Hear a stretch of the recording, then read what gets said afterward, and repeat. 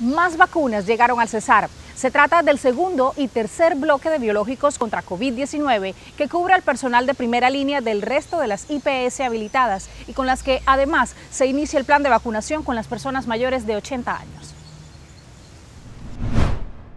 Me siento feliz, le doy las gracias a ustedes que me tomaron en cuenta ese primero y bendecido por Dios y ustedes que lo bendiga Dios y siga protegiendo a uno.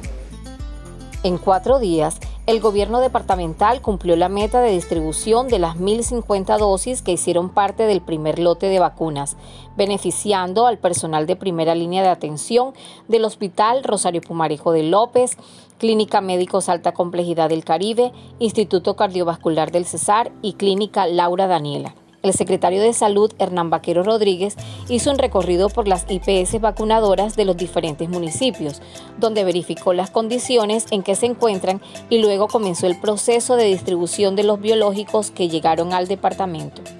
Eh, de la vacuna Sinovac tendremos alrededor de 2.923 vacunas en todo el departamento del Cesar, los cuales serán distribuidas a 1.348 para el talento humano de primera línea en salud de los 24 municipios distintos a Valledupar y 1.575 que harán parte de los mayores de 80 años de todos los centros de larga estancia, de los centros carcelarios y también de los comedores que se vayan identificando en el departamento. En esas 1.575 sí se encuentra incluido el municipio de Valledupar. 4.951 dosis ha recibido hasta el momento el departamento, que hacen parte del Plan Nacional de Vacunación contra COVID-19 biológicos que son distribuidos a todos los municipios del Cesar. Recuerde que si quiere acceder a las vacunas, solo debe actualizar sus datos y el de sus familiares en las EPS correspondientes o en la página web www.vacunacioncovid19cesar.com. Estos procesos son gratuitos y las vacunas no están a la venta.